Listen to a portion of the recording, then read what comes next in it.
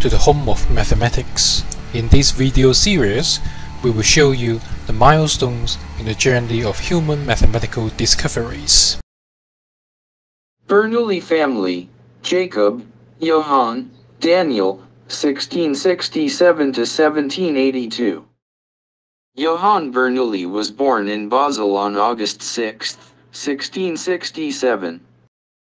A brachistochrone or curve of the fastest descent is a curve lying on the vertical plane between two points A and B, on which a particle slides frictionlessly due to gravity from point A to point B in the shortest time. Johann Bernoulli posed this problem in Acta Eruditorum in June 1696. I, Johann Bernoulli, address the most brilliant mathematicians in the world. Nothing is more attractive to intelligent people than an honest, challenging problem, whose possible solution will bestow fame and remain as a lasting monument. Following the example set by Pascal, Fermat, etc., I hope to gain the gratitude of the whole scientific community by placing before the finest mathematicians of our time a problem, which will test their methods and the strength of their intellect. If someone communicates to me the solution of the proposed problem, I shall publicly declare him worthy of praise.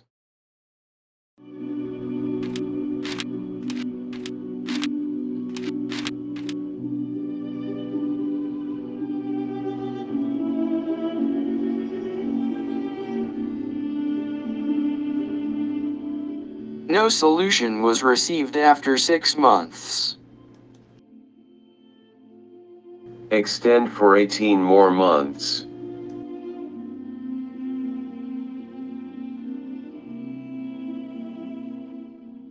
Newton found the challenge in a letter from Johann Bernoulli, stayed up all night to solve it and mailed the solution anonymously by post.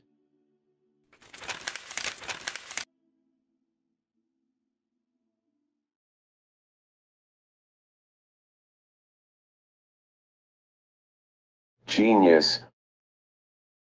I recognize a lion from his claw mark. I don't love to be done and teased by foreigners about mathematical things. Mr. Bernoulli, how to design a water slide. Well, for a water slide, we aim at the greatest fun and thrill of the swimmers. To this end, the player should descend in the shortest time. Does a slide in the form of a straight line produce the best result? No, a straight line only connects two points with the shortest distance, and it doesn't mean that you have the fastest descent. In this case, what should be the shape of the slide, a circular arc or an ellipse? An ellipse is pretty close, and the solution is a cycloid. This is the problem I posed to Newton and Leibniz to challenge their mathematical skills.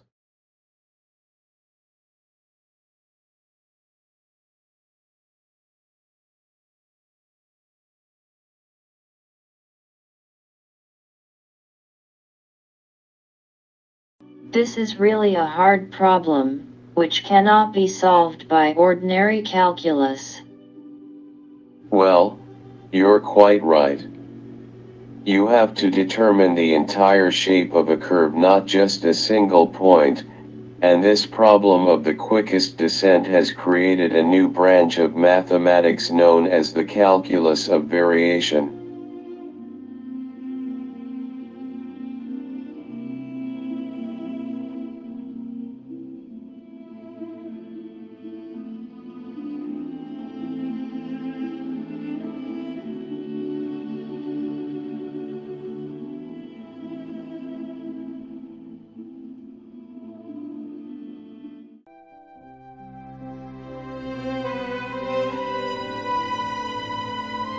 Thank you for watching.